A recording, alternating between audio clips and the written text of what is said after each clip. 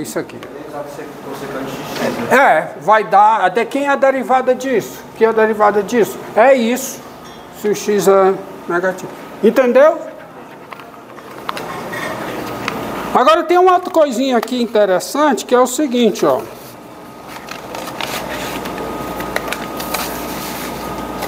Não, mas isso eu deixo, eu acho que eu. Não, não dá para dar assim. Aí.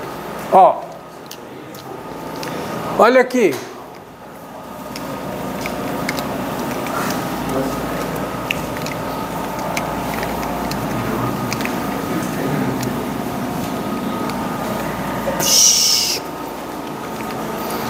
Quando você tem quando você tem a no sistema UV pega essa bissetriz e essa você pega a elipse, elipse não, a hipérbole equilátera. Qual é a hipérbole equilátera? Aí dá que sobra. Qual a hipérbole equilátera que dá? É U2 menos V2 igual a 1, certo? 2 menos V2 igual a 1. Quando você pega um x positivo, Aonde é que está o seno hiperbólico de x, cosseno hiperbólico de x? É um ponto aqui em cima. Esse ponto é um ponto, cosseno hiperbólico de x, cosseno hiperbólico de x, seno hiperbólico de x. Agora eu vou calcular essa áreazinha aqui, ó. Vou chamar essa, essa região ômega 1 e vou calcular a área de ômega 1. A área de ômega 1 é a área esquece essa parte de baixo, essa áreazinha via da área de uma função, qual é? V igual, porque isso aqui, U2 menos V2 igual a 1, dá o quê? V2 igual a U2 menos 1. Então, essa parte de cima dá a área da seguinte função. Abaixo da função, a função f de U igual a quê? a raiz de U2 menos 1. A parte de cima é o gráfico dessa função. Que U2 menos V2 é o 2, quem é V2? O 2 menos, o 2 menos V2 é 1, então quem é V2? O 2 menos 1. Agora, quem é a área de ômega 1? É a integral de quê? De 1 ao cosseno hiperbólico de x da função f. Então fica a raiz de quê? De 2 menos 1 de 1.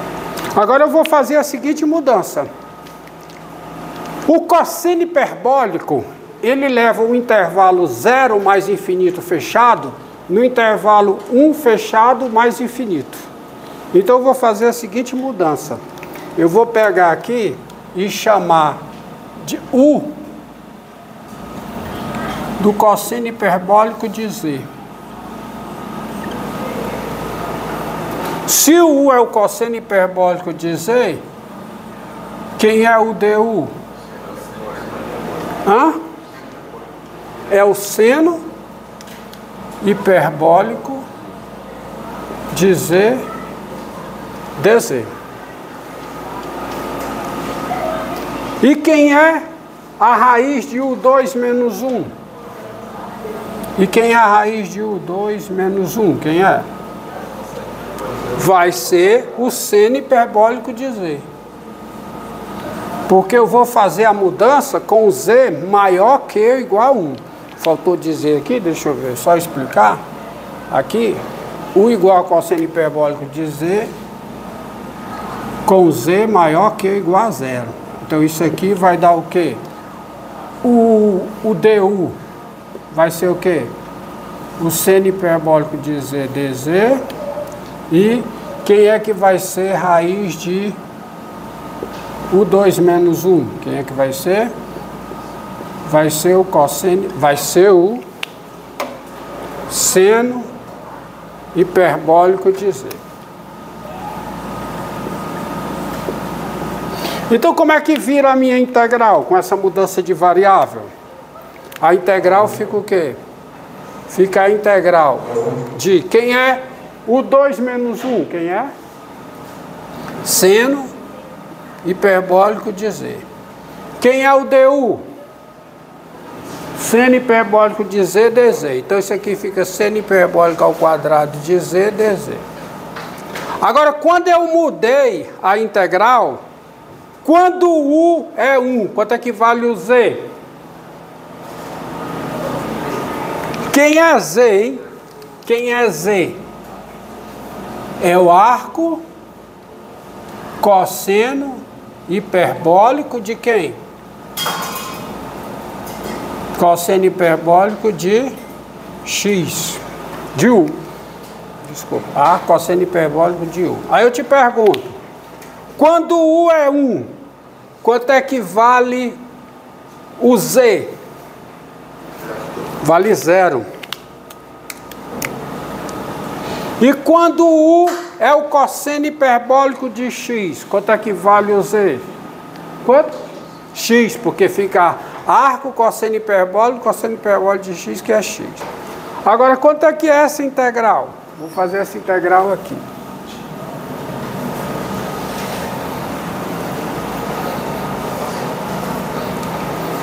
Quem é essa integral? Fica a integral de 0 a x. Eu te pergunto, quem é o seno hiperbólico ao quadrado de z? É o cosseno hiperbólico de 2z menos 1 sobre 2. dz. Isso aqui já foi feito.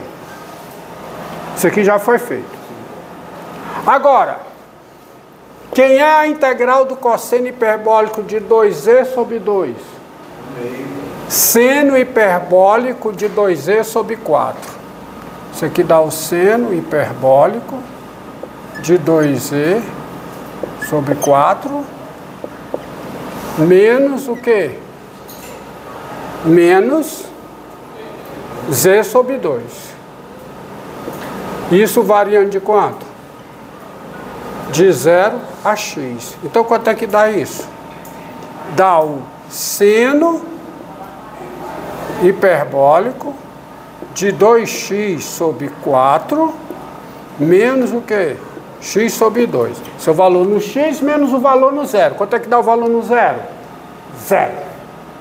Então isso aqui dá metade do seno hiperbólico de x vezes o cosseno hiperbólico de x, menos x sobre 2.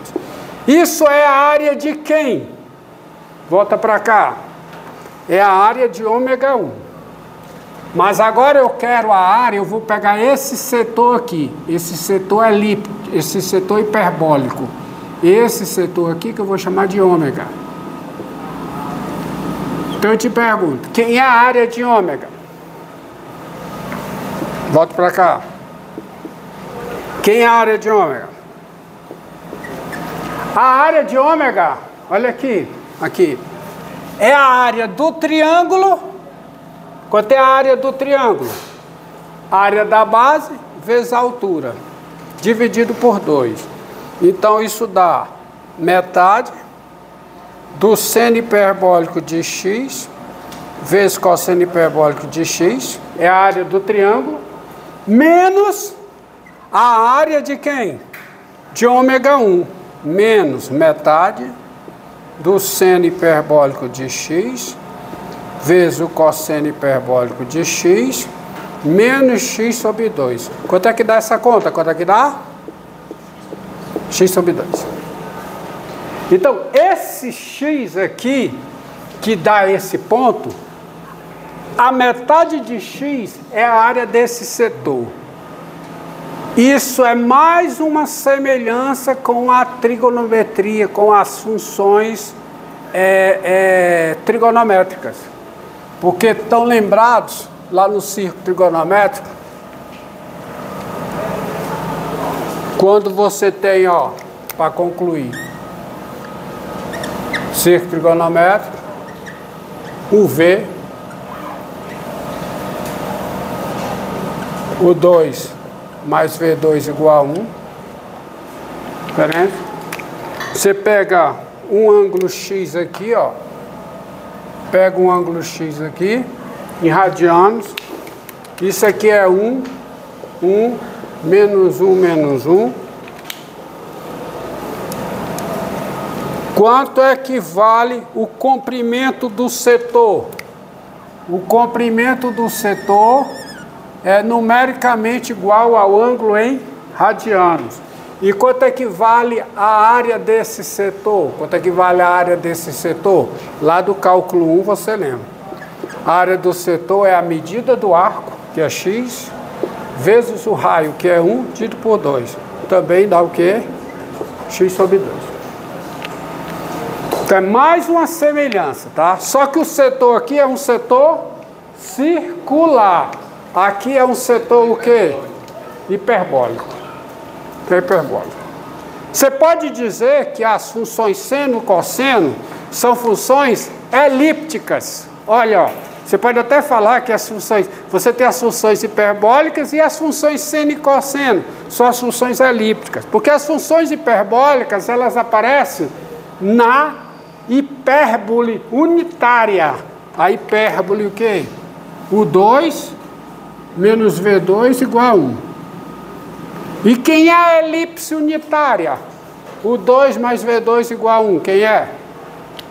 É o círculo. Então você pode dizer tanto que as funções trigonométricas, que elas seno e cosseno, são funções circulares ou são funções elípticas, porque elas são feitas na elipse unitária, e as funções hiperbólicas, porque são feitas na hipérbole. Entendido? Tem mais coisa para sobre para encerrar essas funções hiperbólicas, mas isso fica na aula que vem. Hoje eu vou liberar vocês mais cedo. Tá?